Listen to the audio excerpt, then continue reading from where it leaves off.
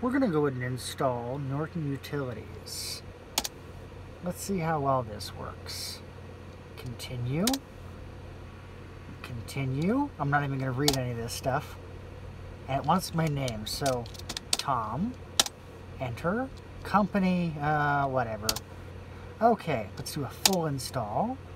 And into that directory. That sounds good. And it's copying all the files. Now, the funny thing is um, I only have one floppy drive, or one floppy disk. Only one, like in the entire house. And, well, because it's not like many people have these anymore. And it's got some bad sectors. So I can't write images to it. Thankfully, the bad sectors are at the end of the drive. So I can copy, you know, about a megabyte to it at a time. And, well, it's kind of a pain in the butt. But it does work. Thankfully, most DOS programs are really dumb with the setup files, and they just look for the next file, and if they run out, they just ask for the next disk. Well, consequently, you can take and you can copy all the files from the setup program into a single directory on the hard drive, and then run the setup program from that folder in the hard drive, and it just runs and it installs really fast and it works great. Um, I've done this with most DOS programs I've installed, and it's just the way they happen to work. Oh, and if you look up, you can see a password. That's somebody's password. I don't know whose. Dial-up. Oh, and the other fun thing, this thing came with a modem. Uh, 9600 baud modem. And I found this in my collection. This here is an Etherfast 10100 integrated PC card which means Ethernet. And, um, well, this isn't going to take advantage of 100 megabit networking at all because it's a 33 megahertz machine, I think. But we'll see. I don't know.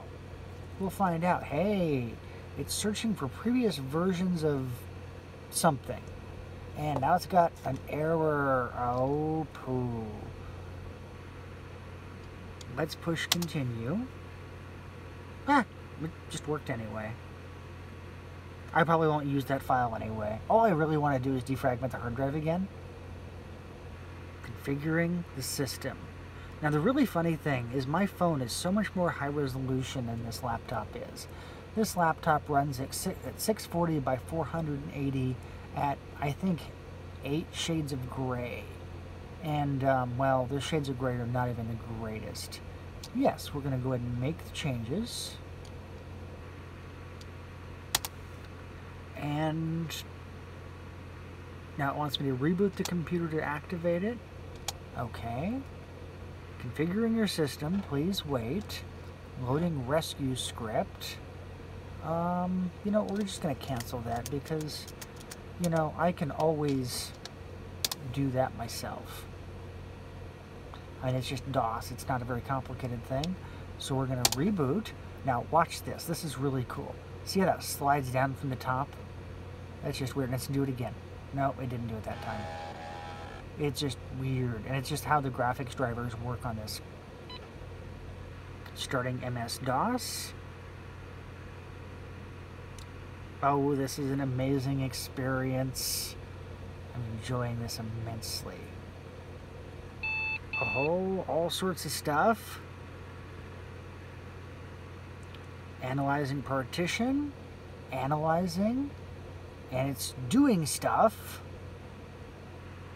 analyzing the boot structure, directory structure, file structure, loss clusters, analyzing drive C, reading the FAT info, stuff I can't read because it's going way too fast.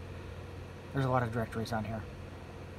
This laptop was a gift from a friend of mine, and uh, it was found in a closet in some office and you know it's been there for a very very long time. And it's not been used. And there's no personal information on it thankfully. But uh, you know we'll, we'll see what's on here. Okay let's dir slash w. Now that's not very helpful. Now let's do star dot exe slash w. And this will tell me everything that's in here. Oh, so I can do a smart scan, disk tool. Ooh, let's do sysinfo. That sounds fun. And I wish I had a tripod for this thing. Apparently this is a 40, a Cyrix, it's not even an Intel. It's a Cyrix 46, 33 megahertz with 4 megs of RAM. That is crazy. Let's see what else we've got. Okay, good. It's got at least 256 kilobytes of video memory. Let's see what's next. Um, nothing happened. Let's try it again.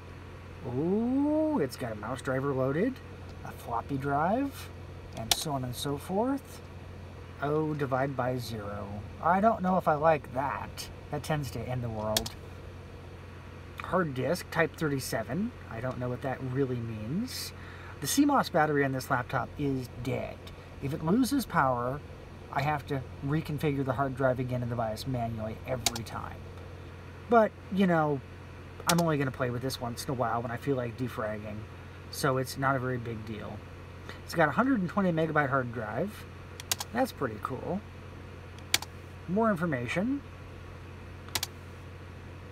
And it's testing the XMS, which apparently came out as good. I like that. So what we're to do, let's see how fast it is. Let's benchmark the CPU speed.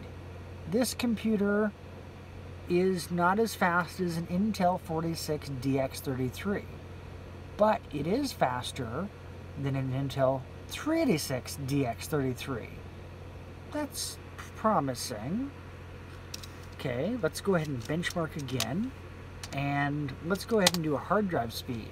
And this is probably going to take a short amount of time to run. Let's see what happens.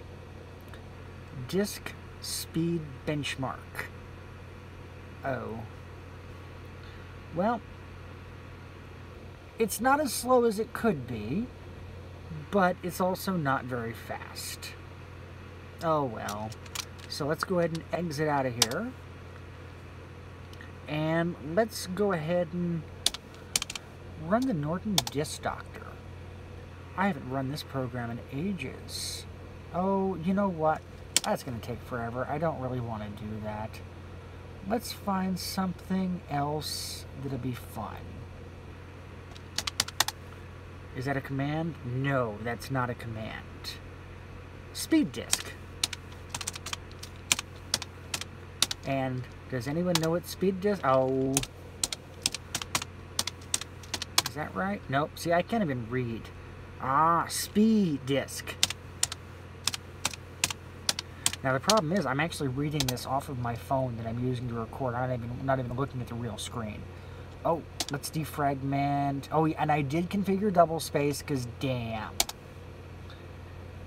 You know, 120 megabytes just isn't very much disk space. It's just really not. Analyzing disk information. Checking, checking, checking. And because I did a defrag recently with the Microsoft defragger, it's actually not that fragmented. So I'm not going to defrag right now. I'll defrag later. Still reading. Let's go and file. Oh, no, no, no. I pushed the wrong button again. I am not used to using a keyboard like this. Because that is crazy. And look at this here. Isn't that the cutest little thing? Unfortunately, the right button really doesn't work. I might take it apart and fix it later. The left button does work, but you have to really push on it. Probably just got a dirty contact. Oh, I guess I started it defragging. Well, that was unintended. Not unwanted, because I was going to do that. And, you know, I was going to sit and watch and enjoy it. But I guess I can sit and watch and enjoy it when I watch the YouTube video later. And let's just let it go. Defrag, defrag, defrag. This is way different from the uh, DOS defragmentation program. Writing directories. Now if you note, there are some unmovable files at the end of the disk. Now the DOS defrag, or the Microsoft defrag, is reporting I had unmovable files in the middle of the disk. And I don't know why. Okay, let's go. Pass one, writing directories, writing directories. So anyway, I've got an interest in old DOS machines, old Mac machines. I've got a collection of both, and they're just a lot of fun. This is the first working DOS laptop I've had in a while. The big problem is, you know, they just eventually fail, and there's nothing to really do about it because the parts wear out, they get old, and mostly the hard drives fail. Somewhere in my collection, I have an IBM ThinkPad Butterfly, which was one of the most impressive laptops ever. Because when you take the keyboard or the screen and lift it up, the keyboard unfolds to give you a full-sized keyboard. And it does that by sliding. So this part of the keyboard slides up and like this, and this part of the keyboard slides down and like this. And it was just really amazing. And I always wanted one when I was a kid, but you know, they were like, you know, $5,000 or whatever they cost back then, and I was a kid, and that was more than I could get from mowing lawns and, you know, babysitting and other jobs that I did. This is to take a while. I'm just to go ahead and stop the video here and enjoy the defragmentation process in my own peace.